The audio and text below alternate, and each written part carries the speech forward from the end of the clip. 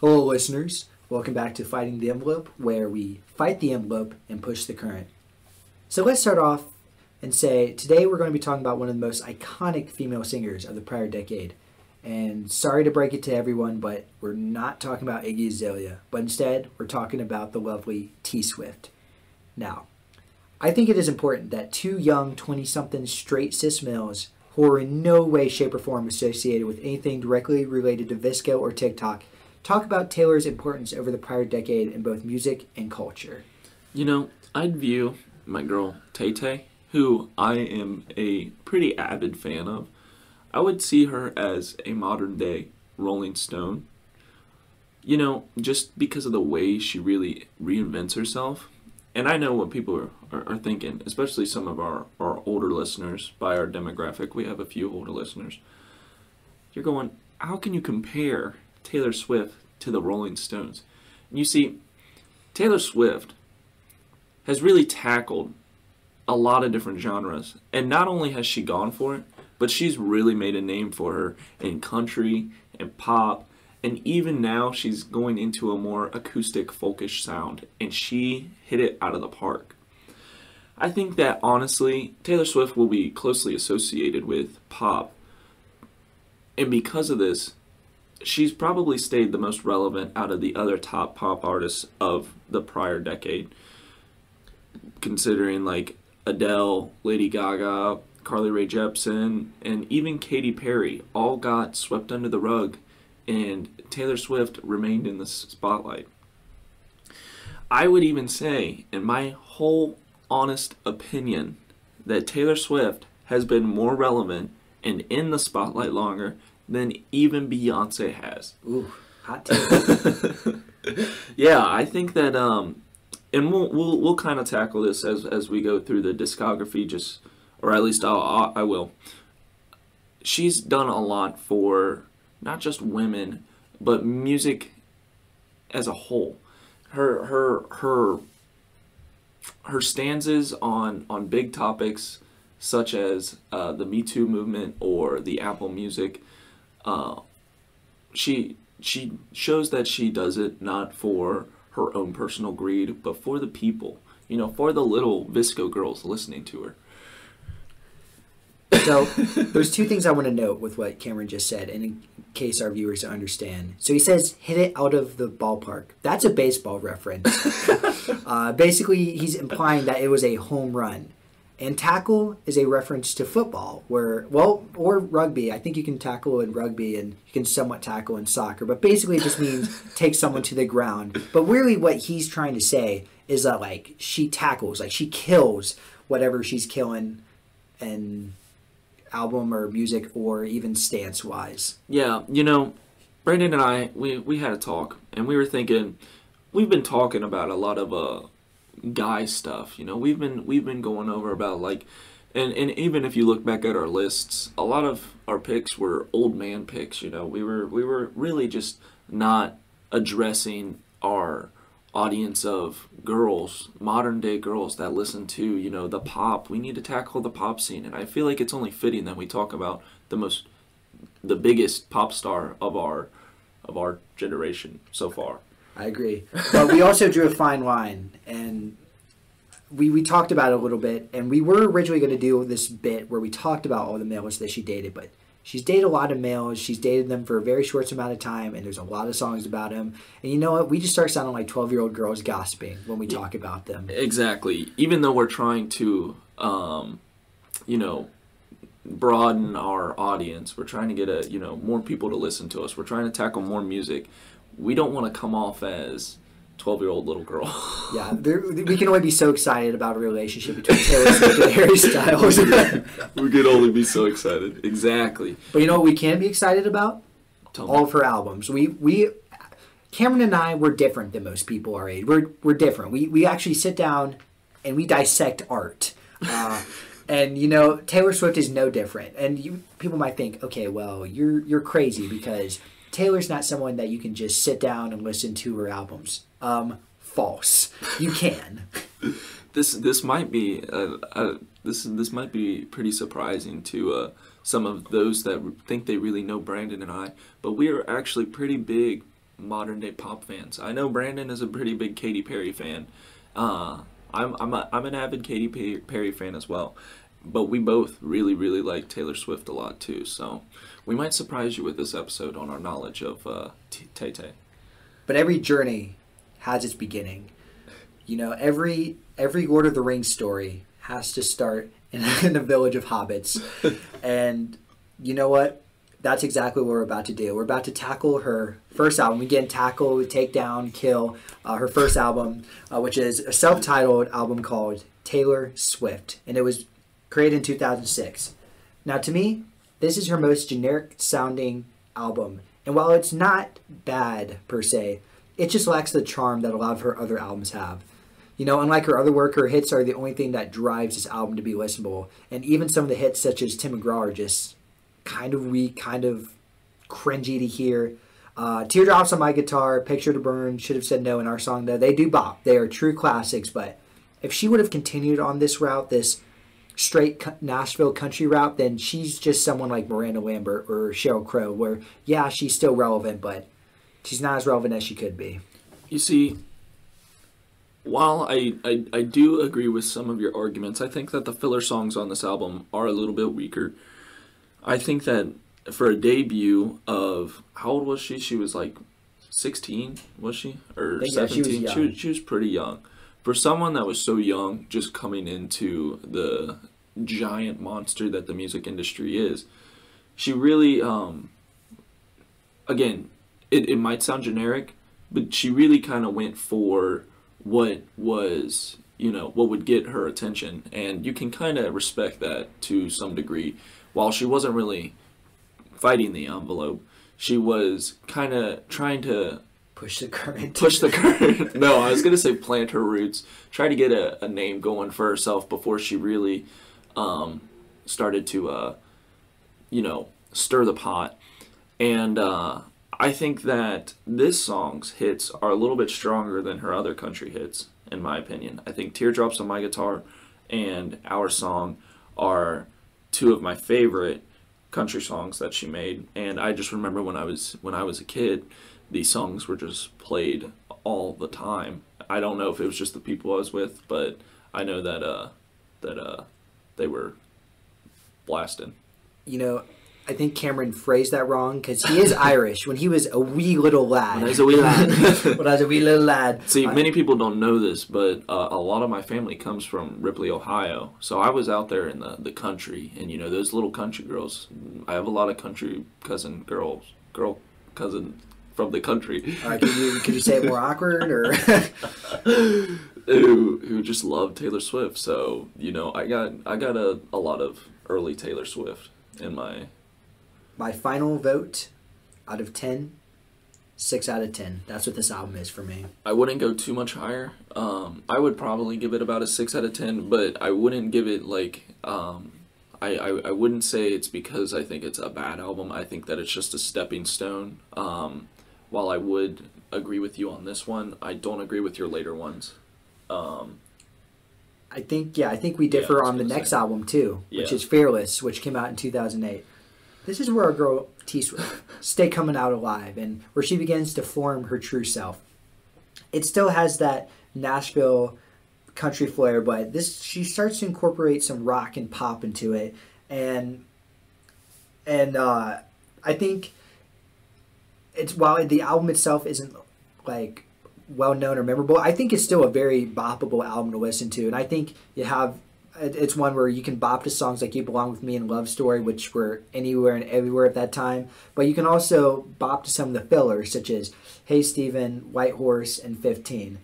Uh, I think I don't know, it is a great album. Uh, I'm actually going to give it a surprising eight out of ten, and I think it's the best of her country rock albums. See, this is where we disagree. I think that though there are some really good songs on here, such as "You Belong with Me," I think that her first album had it can can rely on the excuse of being a first album of being you know a rookie album i think that this album kind of falls into the the similar um, mistakes that that taylor swift 2006 made she it, it kind of sounds a little generic. It doesn't sound as generic, but I think that this being her sophomore album, it makes it a little bit harder to make it as an excuse of her being like a, a rookie writer, even though she was only 18, 19 when this album came out.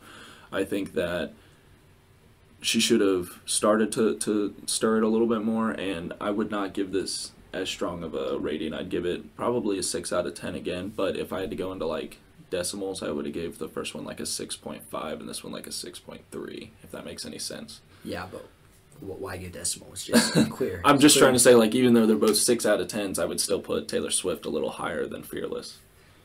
Yes, Yeah. but there is an album that came out around this time that was actually made by another artist who might have had a beef with her throughout a good portion of 2010s, and that's Katy Perry. And while uh, it, it's not her most famous album, Katy Perry's "One of the Boys" also came out this year, and it, it, it shows that these two were going to be fighting for the top spot um, from this point on.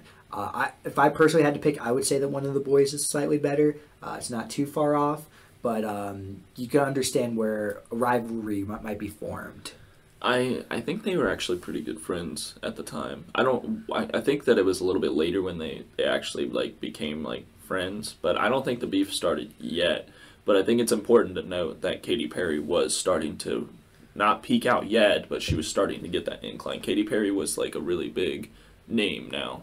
Because didn't uh, I kiss the I kiss Yes. a girl came out with this one and This uh, hot and cold. I think Hot- and Cold is yeah. Actually, I, I think, think- Hot and Cold is off pretty- of this one. So Katy Perry was was starting to become starting to become the biggest name in pop, and um, as we're going to start to see, Taylor's going to start switching into pop, and I think that with the name of Katy Perry, it would be very intimidating to jump into that genre. Um, but but for now, we're going to go into Speak Now, which came out in 2010. So let's speak now about it. I think that this might be her most forgettable album. I am not the biggest fan of this album, but I I think that when I say that, I, I don't say it like as um as like ignorant as I might come off. I know that's a very bold statement. I could acknowledge that her first two albums she was co-writing and this was her first solo written album. And while I think this song has one of her better songs, um, being uh, "Mean," I think that's one of her her best country songs as well. I still find this album to to fall a little flat and not leave as big of a impression. It doesn't have as many hits as as far as I'm concerned that I I really like. Just you know, liked. I don't even like "Never Grow Up." I don't I don't think that song's that that that good. I, th- I, I the only song I like on this album is "Mean." Yeah, I'm. I'm not even to fight you on this because our, our views are probably very similar. It does show a Beatles-like progression in that you see where they're going to be with the next step. Without this album, it would have been awkward to go from Fearless to Red, and this did probably had to be there. But we can still hate on it. You know, it's still not the best thing to come out in the history of mankind. Um, you know, but she does start to create her own sound because she ends up writing all the songs on her own on this time instead of like being a co-writer. Um, she still has those pop love ballads. Uh, she still has her tint of country rock, but you know she's still moving forward into pop. Um, I'd say, while you personally don't like Never Grow Up, I think Never Grow Up is fine. Uh, and Mean Mean is a bop. I mean that is a big t- two middle fingers to the critics, and, and it comes in such a clean way, and I like it. Well, I was going to say I think that it uh, aged well because you know she was saying all that and then she actually did. You know, like as as we'll get into later. Um, I, I I agree. This is I, I feel like sometimes artists need to come a little short um, so that they can make the giants that they do that that Taylor will make. Um, but what what would you rate this album? I don't I don't think you said yet. considering that Katy Perry's Teenage Dream came out and Katy Perry's uh, Teenage Dream had like five or six number one hits, and it looked like she was going to take on the world. And I know this shouldn't be a factor that directly influences how I rate this one. I still think it's important to when when you think about like what could have happened if Taylor failed on the next album after this. It's getting a low four out of ten, and it's not the lowest on my list, but it's close to the bottom. I I don't think I would give it that low, but I because like I think when you go below five, you're saying it's kind of like a bad album, and I I don't know if this is what you're saying, but that's just how I view it. So I would give this album just a five. I would think that this album's pretty average. Um, while some people who who may not understand where we're going with this, it, it it's it is important to mention Katy Perry dropping Teenage Dream just because that that was again the biggest pop album at the time. It's going to be one of the greatest pop albums of all the time. And Katy Perry, like you said, was really setting herself up to be this really big name. Taylor Swift was trying to she was dipping her toes into the pop, but I still would say this is more country. Um, than, than pop, I would say like country pop. It would be. It, it's getting there. It would be. They call it cop. cop. I don't think I'm ever gonna call it that. That level's kind of Cheesy, but cheesy. Yeah. Thank you for the save.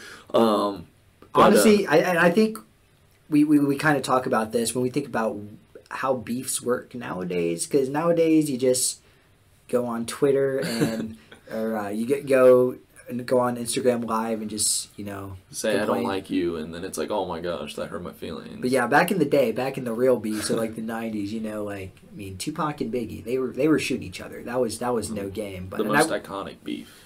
I kind of wish that Taylor and Katy Perry and Taylor and Kanye kind of worked like that, where K- or where Taylor Swift's just doing drive-by shoots. oh, jeez. Oh yeah, that's a, I, I we completely forgot to mention that. I think it was in 2008, 2009 at the VMAs. Um, that's when uh, a different beef, her first beef. She, Kanye. I was gonna say she didn't have a beef with Katy Perry yet. Still, I, I wouldn't say she didn't. I would say it would be around her her uh, 2014 release when she would have her beef with Katy Perry. Right now, she was she was tackling uh, the giant uh, known as uh, Kanye West. He's a giant. Sorry to interrupt, but I have to say, Beyonce made the greatest music video of all time, and then she's up there like, and then Barack, Barack Obama's like, "Wow, that guy's a jerk." as as as uh as big of a Taylor fan as I am, um, I think I agree with Kanye. I think uh, "Single Ladies" was definitely a better video.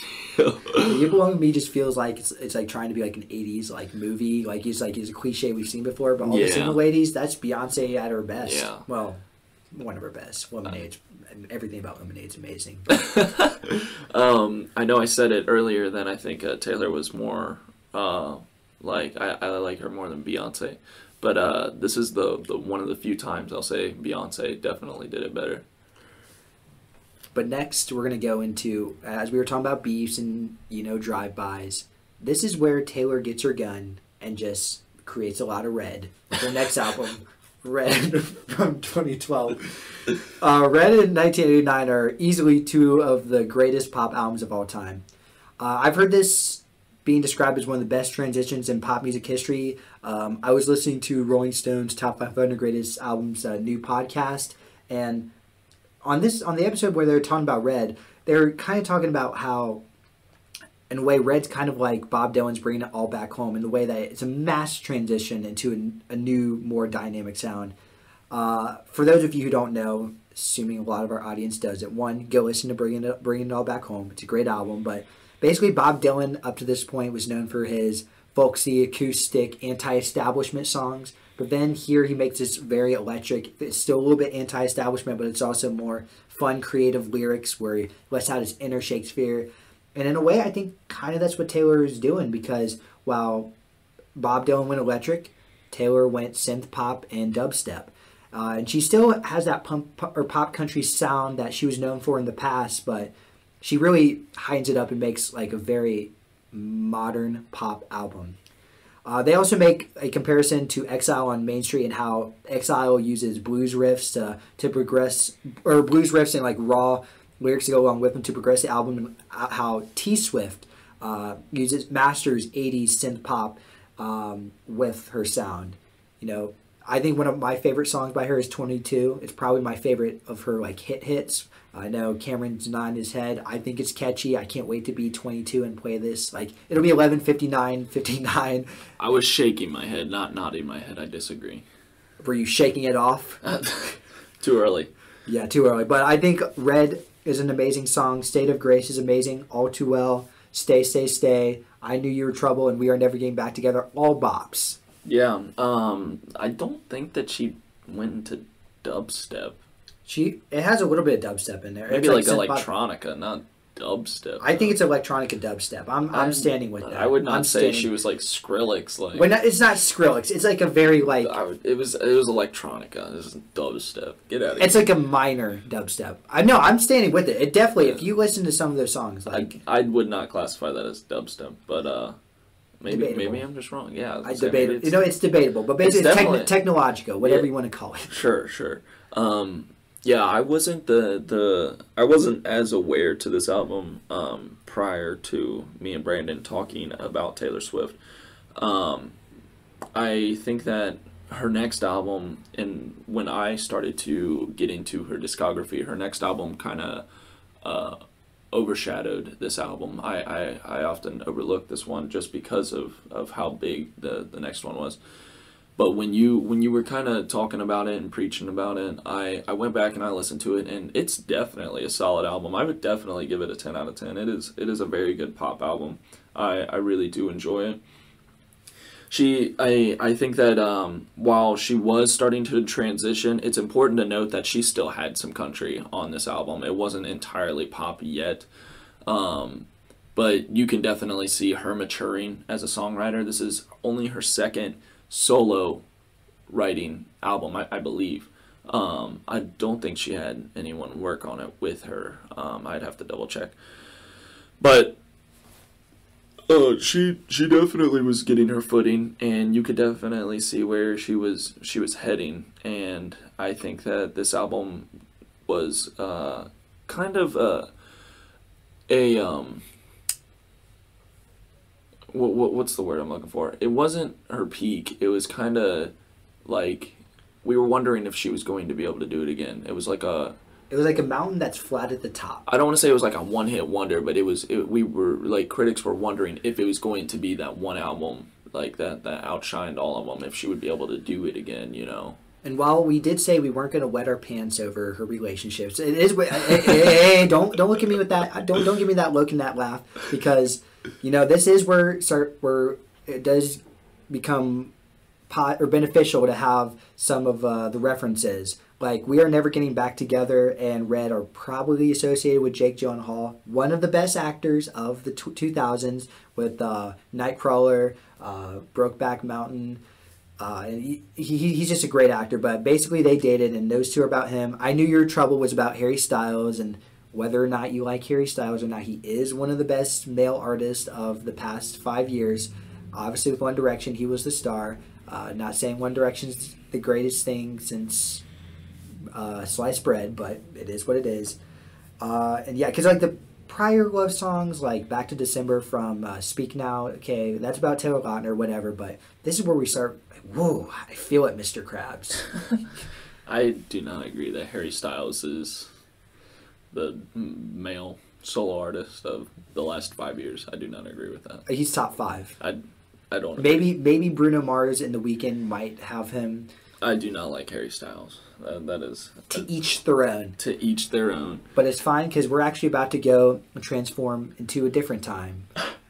1999. Oh, sorry. Ni- we're not Prince. 1989. um, this is also probably one of the greatest pop albums of all time. I think I like it personally better than Red.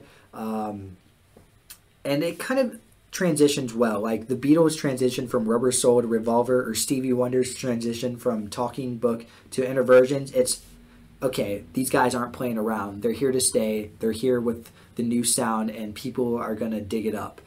Um, it, and and uh, it does bop harder, and it has amazing songs. It's my personal favorite, "Wildest Dreams," "Welcome to New York," which kind of is a symbolization of I'm I'm gone, Nashville. I'm gone, countryside. Well, not gone, but I'm kind of I'm making a more urban vibe to my music. Uh, Blank Space, Shake It Off, Bad Blood, How You Get the Girl and Clean, or just mwah, a chef's kiss. However, I'm, I'm going to be honest, while I know it is one of my favorites, I did have beef with this album for a little bit just because, you know, all the VSCO girls were jamming to it when they were younger and played them in every store at every shopping mall in America, and it got old. But now that it's not old anymore, it's new. This, in my opinion, is the greatest pop album of all time. I absolutely adore this album. This album made me a Taylor Swift fan. Uh, I think it, like you said, this is uh, the album that kind of established Taylor Swift as the, the artist of our, our generation, or was at least leading up to that. I think that uh, a couple other things that she had done, like like she stayed relevant um, after this album, but this was the album that that really said that she was here to stay, like you said. Um, it's important to note that this was when she she moved from Nashville to New York, and that's why you have Welcome to New York. You can see that transition where she, she really kind of blossoms from her, her country roots and, and turns into this pop star. She um, th- this album really doesn't have any bad song except for um, Out of the Woods. Yeah, I'm not Yeah, I'm not the biggest fan. song. It. I, It- I wouldn't say it's awful. It's just too repetitive for me. But it's Um, fine. It's, it's album is still ten out of ten. It doesn't. I was gonna right. say it should say how big of a deal the rest of the album is if I'd still give it a ten out of ten and still like you know not like that song as much as I do. This album has stayed. Re- I think this album's probably stayed the most relevant out of all of her songs. I feel like "Shake It Off" is the smells like teen spirit of the 2010s. I know that uh, I bring that song up. I reference that song a lot. But for those of you who do not know, smells like teen spirit, I say um, was the song in the 90s. Like it was constantly played. People were getting sick and tired of it just because it was it was on MTV all the time. I think Shake It Off is the smells like teen spirit of the uh, uh, 2010s. I I was when when I first got into this album, I I was kind of surprised to see like how many like of her big songs were on here, like Bad Blood, Shake It Off, Blank Space, all of those were on there, and I was I was like, you know, like.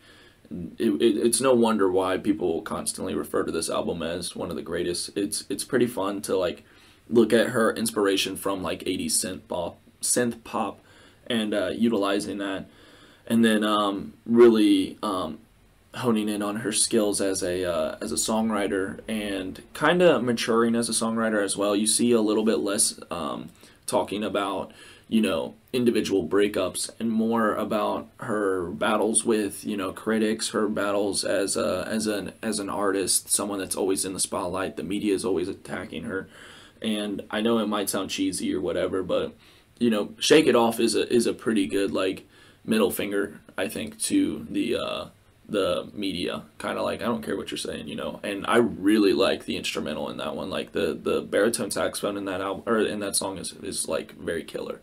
I, I have to agree.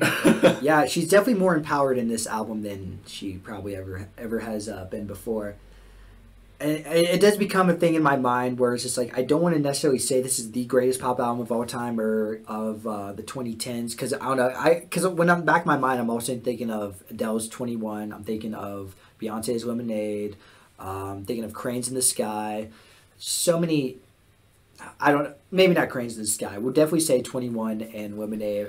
I'd say the, the debate is between uh, those two and then Red and 1989. So there's four that easily debatable. But I can definitely. I'm definitely not ashamed to say that probably is. I'd probably put 1989 over them, but who knows? It's it, it, it fluctuates in my mind a lot. Fluctuates. That's that's that's the that's the curse of being you know a music lover. You know you always change. you Always change do. with the time. But um, I think uh, this is this is also where you, you start to see her beef with Katy Perry. I think that she kind of shoved Katy Perry off of the mountain that she was on. Um, I don't. What what was the album that came out? Katy Perry released an album in 2014, Was it Uh, Prism? but it had it had Roar on it and it Prism. had Dark Horse on it. I think. I think it's Prism. Yeah. I sure hope it is because I've said it confidently three times. It I'm pretty fell, sure it is. It fell pretty flat, and I think that a big part of that was due to 1989's success. I think that um, it, it th- this is where the beef started. You know, with this album. Sorry, were you gonna say something? Oh, I was just gonna say gunshots fired. Yeah, gunshots fired. I think they were fighting over some like dancers or whatever. Yeah, because I think Katy was trying to recruit some of Taylor's like backup dancers because there's no backup dancers in the world. I guess there she could have just picked like a few of her own. She had to pick one. But she already worked. I Well, I think was the thing was they- she yeah, worked. worked she worked with them, but you know when Taylor's doing arguably one of the biggest selling like concerts of all time with 1989, you know. I probably wouldn't have given up that spot either for Prism. No way, no way. However, even I will say, watching her live in concert during this time is not it's not something I ideally like to do. I like the album.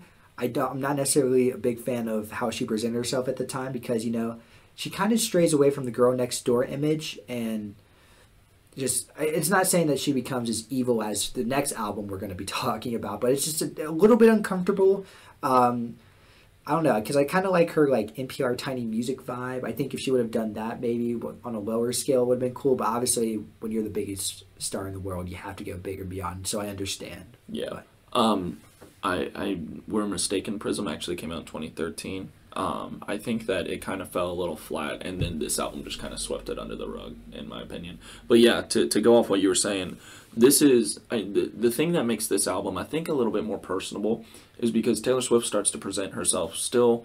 She she's always presented herself as this. She didn't just start to do this as that girl next door, as that as that you know somebody that's very relatable, and um and I think that even though she, she she's still pretty young. She's like 25 24 um, she's still pretty young with this album. And i think that later on she starts to to to to grow up and, and, and when when she's re- reinventing herself she does it a little bit too maturely.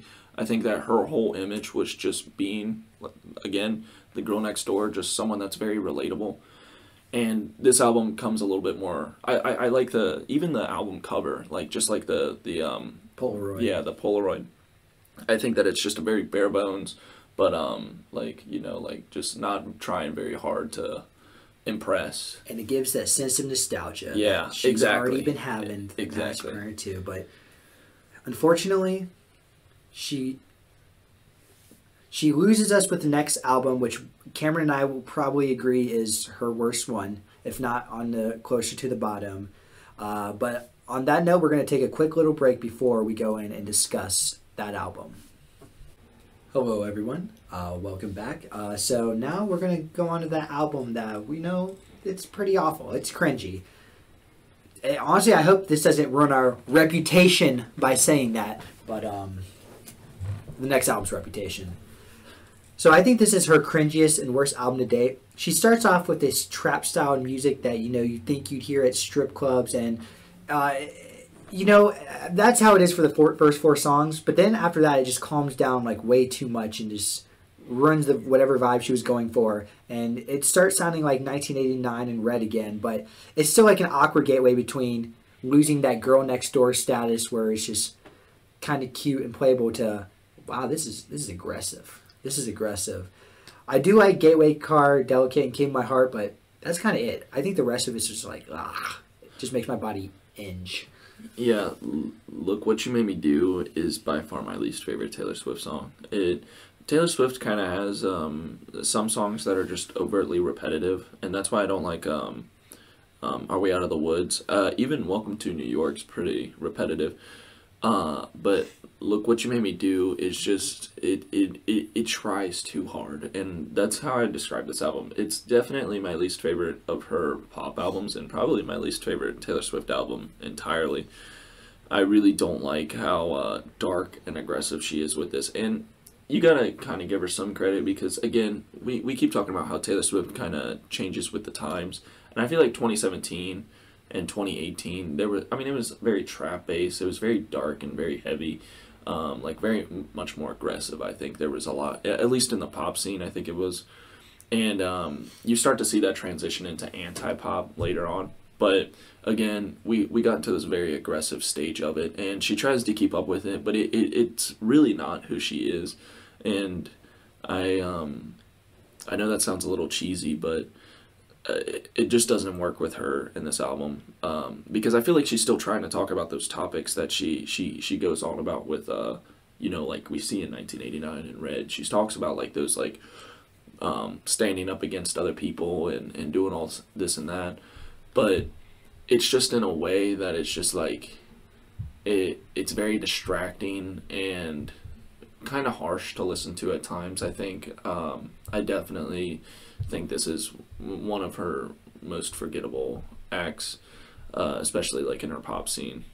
Yeah, that's um, It's like the Rolling Stones trying to be super 80s when they're not, you know. Yeah. Rolling Stones are this like raw, like classic rock band, and then when they try to do their 80s stuff, it's, it's just like, where's the shotgun? Yeah. Um, I think Endgame is also a pretty awful track as well. I, I, I think it's very weak. Um, it has Ed Sheeran in Future, which I'm, I'm yeah, I'm here for those weird collabs, but this is I don't really like Ed Sheeran to begin with. I don't Um, like Future or I don't. Yeah, I'm not a big Future fan either. Yeah, I don't know. I think if she didn't have the first four songs on this album, It'd Uh, be a little bit better. it'd be a little better. It's, it's just one of those cases. It's like the Tupac effect. Just having too much music takes away from what the good stuff. You know, that's fair. Um, but I mean, like at the time too, I think that you kind of have to uh, acknowledge where where she was going. Um, Taylor Swift kind of was doing a lot outside of the music scene. I think, um, while still being in the music scene, um, she was kind of protesting against uh, Apple Music because it was a streaming and uh, streaming service. And for those who don't know, streaming services are kind of brutal on artists. They don't really pay artists too much just because uh, they're not like people aren't necessarily buying their music; they're just streaming it and the artist doesn't get paid um, a lot, uh, especially like up and coming artists. And Taylor Swift had this very long letter written out to Apple Music, um, kind of just telling them why she didn't want to work with them. She felt like it was a scandal, and I think that that's a very big statement, especially for someone who, you know. Has, has a really big name and doesn't really need to worry about like finances um, like the it, she can stream and she's gonna get a bunch of hits you know but she did it just because uh, she you know she was fighting for uh, those those uh, uh, up and coming artists like I said.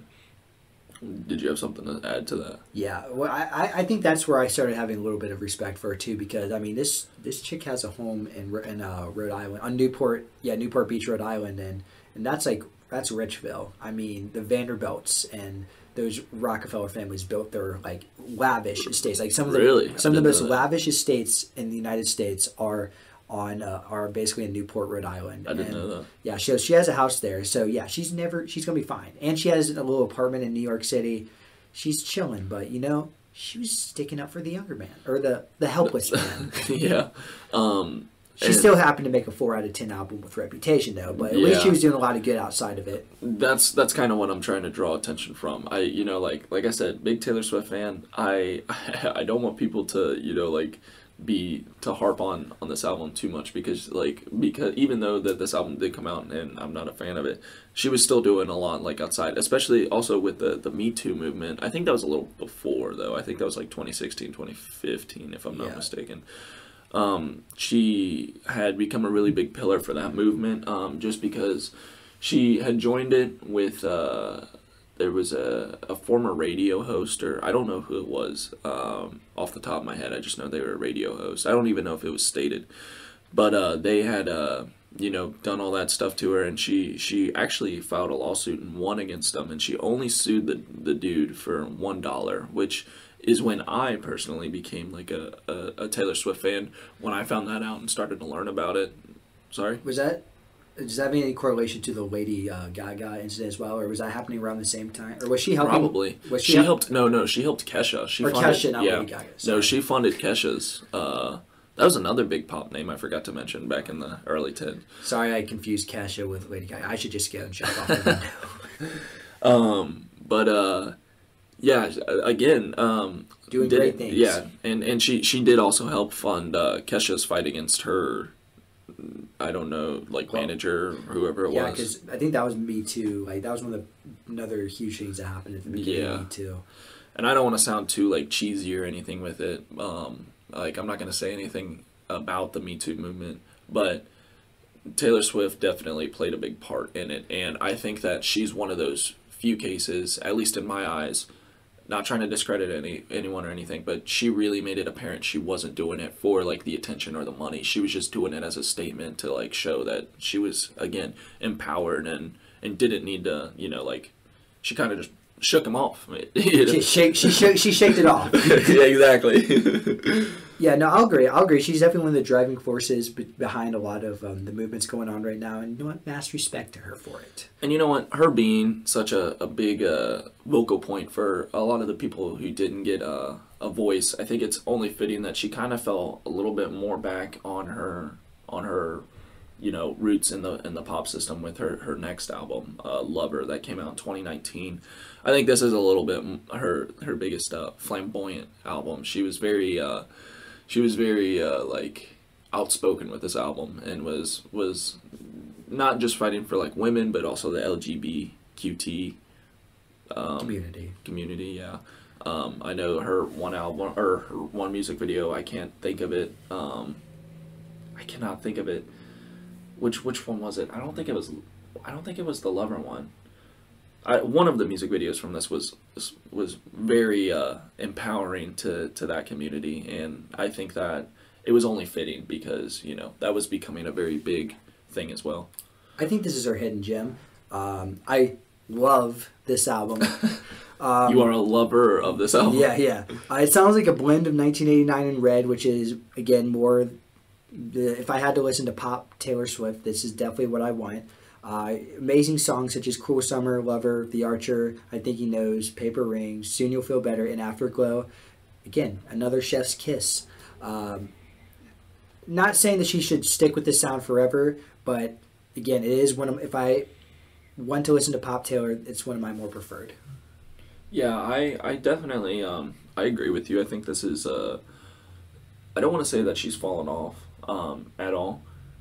But I think that the sound of the late 2010s didn't really match up with this, and I think that Reputation. I don't I don't know the overall opinion of the album, but in at least how I look at it, I think that she kind of noticed that wasn't her sound with Reputation, and she kind of went back to her old sound.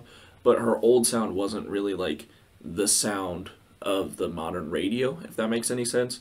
Um, so this album is often overlooked just because I think that it it did have that that older 2010 like the early 2010 pop sound. So while it wasn't necessarily in, I don't think it's a bad album at all. I think it's again, I think it's a, one of her hidden gems, and um, I definitely like this album a little bit more than than people might think or like would like if if you haven't listened to this album and think that it's just another like kind of like bad one. Like I, just because you haven't heard about it or like its hits aren't like on the radio as much, I would uh, I would definitely check it out. Eight out of ten for me. Eight out of ten. I I I would give it a seven and a half. Okay, yeah. he goes half a half a decimal or whatever. All right, but now we have to go to her best album, and I know Cameron doesn't agree with me, but Folklore is Taylor or T Swift's best album. Um, it, it's a revamp into this new form, and I honestly want this album to be her immediate future. Uh, she gives us a very calm, minimalist indie folk album that evokes a lot of beautiful and different emotions. I don't think there's a bad track on this album. Uh, maybe I could take or leave Exile and August, but you know what? Songs such as The Last Great American Dynasty, The One, Cardigan, Betty, and Seven are all gems. To me, this is it's kind of a mix of Joni Mitchell's Blue, Carole King's Tapestry, and Lucinda Williams' Car Wheels on a Gravel Road, and it's just so calm and peaceful and says what it needs to say. I don't hate this album. I think it's a very good album. But uh, again, as I as I've been constantly reminding everyone, she is constantly trying to reinvent herself. And with this album, she does a much better job of of doing a little bit more of like the the kind of modern sound of like the minimalist, um, a little bit more dark, but like a, like not overtly dark. Uh, like I said, I, I think I keep going anti pop, but this isn't an anti pop album. This is just kind of like a little bit more up to date Taylor Swift. And I think that it does a better job uh, than Lover did just because it, it sounds a little bit more like those those artists that are really big right now. But in my opinion, I listened to this album. Um, so when this album first came out, you know, listened, was absolutely blown away by it. it. Was like, wow, this is this is really good. Then the second time I listened to it, it, it was right around the August um, point. I don't remember what's the next day after August. I think it's uh the uh, my my tears ricochet or, or something like that. Um, I can check it real quick. Uh, they both kind of sounded too much like Lana Del Rey to me. Um, and I'm not saying that she's stealing from her. I kind of do just to toy with Brandon and to make him mad. Um, but it it sounds a little too much like um, something else. It doesn't really sound as much like it sounds a little less like inspired and more a little like uh, plagiarized, in my opinion. Not crazily, not like not like too too bad, but it's less impressive in my opinion. I feel like she was less like inspired.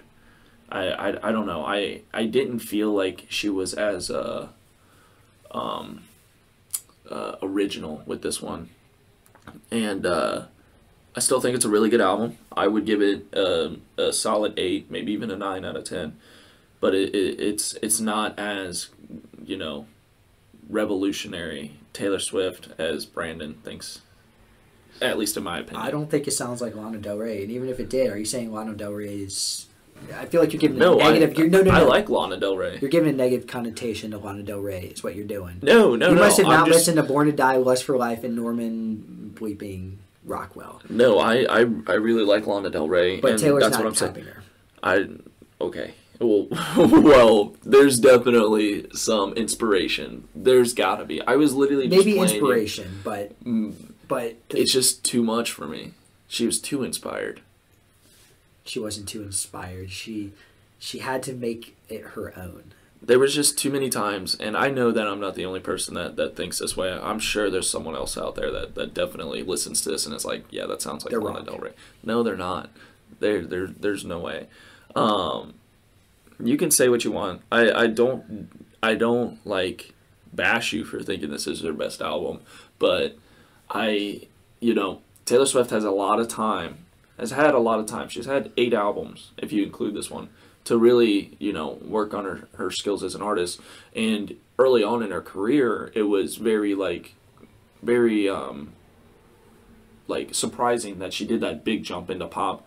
But now, I think it's kind of her image to do that and I like to, to make the shifts. I think so. I think it's her her her way of reinventing herself and making sure that she stays, you know, up with the, uh, you know, like just so she doesn't sound one noted or anything. And I think she does a really good job doing that. But because she's done it so many times, you know, like we've said, you look at 1989 transition from from so listen to this. You transition from her country stage to her early pop stage with Red in 1989. Then you transition to it like her her darker pop with Reputation, and then back to Lover. You see, she she constantly fluctuates and is constantly like just mixing it up. And because she does it so much, because that's starting to become a part of her as like an artist, you're a little bit more critical when she doesn't. And I think that with this album, it was it was very surprising. She didn't she didn't advertise this or anything. She just dropped it, and I think that was very very important to its success. Was people just was like they they were like what is this like let's listen to it, and that's why everybody went to it. But uh, sorry. especially during a pandemic time. Oh, where- especially yeah. where we're just like where we were like, well, what's going on? Like, what what is life like? What, like just so much crazy, just so much craziness going on, and then she drops this, and it's a peaceful, melodic album. You're just like, wow, this really takes away from all all the lovely stuff going on in our world. And um, I'm not trying to discredit this album at all. Like I, I know I'm being very critical of it, but I do like this album. I would, like I said, I I rate it an eight or a nine out of ten.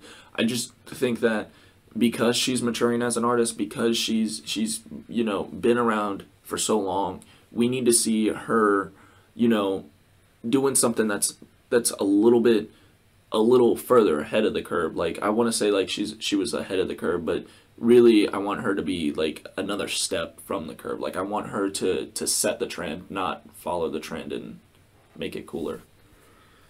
I guess to each their own. different strokes for different folk. But I think so. One of the last things Cameron and I are going to do is we're actually we actually made a list if we had to rank it from eight to one because she has eight albums of what we would say if we if we had a preference of listening. Number eight, I have Reputation. Um, I, I don't know which one you have on your list. No, I also have Reputation. I think that um, with this album, it was just too much. I think Too that she tried too much. Um, I think that she does a better job when she doesn't give a lot. uh, especially with her her um, pop phases. Uh, but I think that that kind of leads into my number seven pick for her. I think that my number seven pick is going to be Fearless, uh, just because, in a way, I think that she she didn't switch it up too too too much from her her first album Taylor Swift and I know you, you probably don't agree with me on number seven. Yeah I have Fearless much higher. I actually have Speak Now um, as my number seven just a little bit of not her, her strongest album but a good stepping stone. Uh, but I do have Taylor Swift uh, her self-titled debut coming after that number six I think it's good I think it's good but not as well I, I think it's generic but it's not bad um, so that's why it's my number six. Um, I am going to agree with you on that. I think that her her country phase, uh, I would I would include Speak Now in her country phase. Those three albums were definitely her trying to get her footing as an artist. And while I think that Taylor Swift is a better country album than Fearless, I think that Speak Now is a better country album. Um, I know it. I know I said that it was a little bit forgettable, but uh, you also kind of have to look at like where she was coming from with that album. As uh, even though I didn't rate it out of ten as uh, high as I did with Taylor Swift, um, I think that I put Speak Now as I think I said five out of ten. I think I put Fearless and Taylor Swift both as six.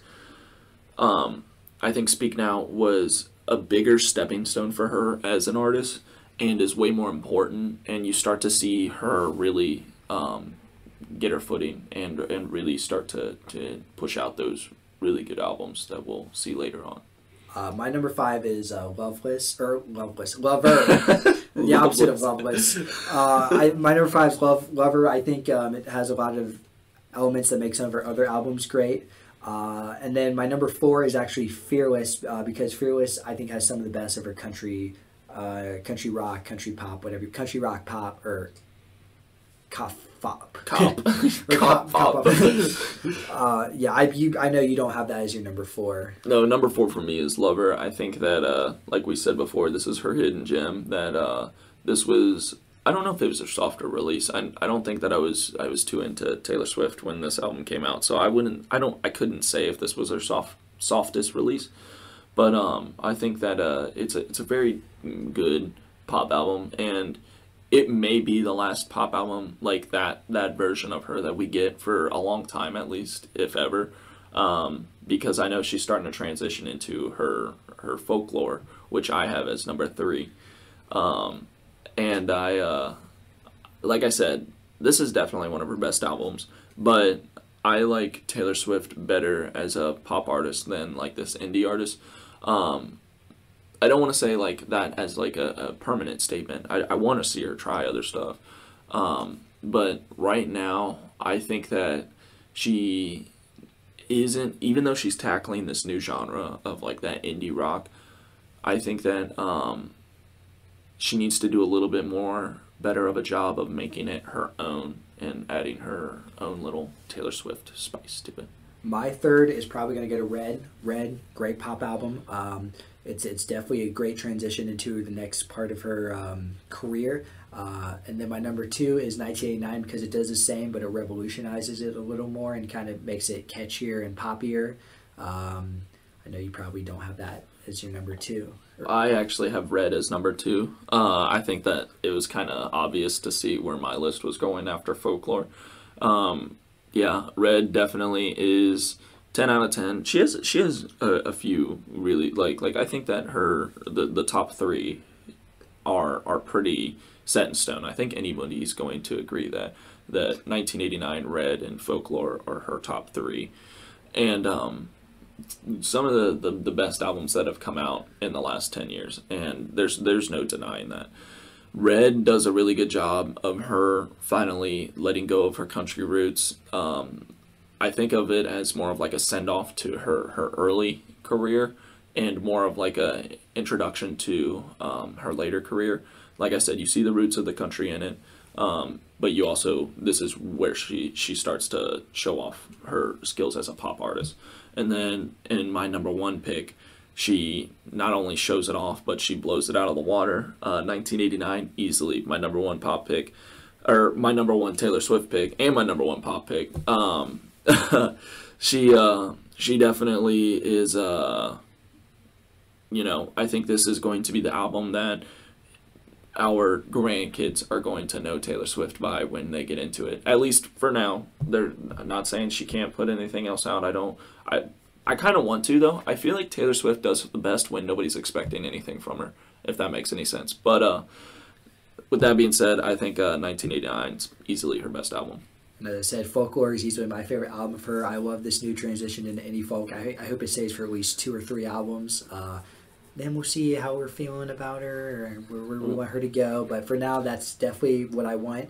You know, I can't wait to see her at like Bonnaroo or Coachella. I think that uh, it's kind of uh, just uh, I, I think you're not a Taylor Swift fan, if I'm being honest. I think that you are just a folklore fan. I think that you don't understand what Taylor Swift stands for, if I'm being honest here.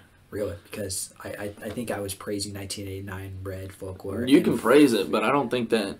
I think your actions speak louder than your words, and the way that you're you're showing your your listing is is saying that I don't think you appreciate it as much as you you state you do. You know what? Next time Taylor Swift's in town, I'll be getting tickets. I Uh, thought you said I thought you said that um, um, you liked Red more than 1989.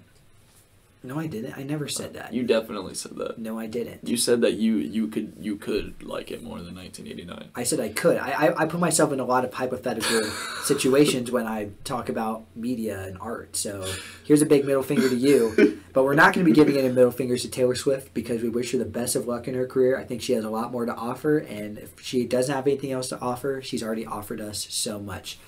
So with that final message, uh, we hope we want to thank you guys for listening and the continued support. And we hope you all have a great rest of your day.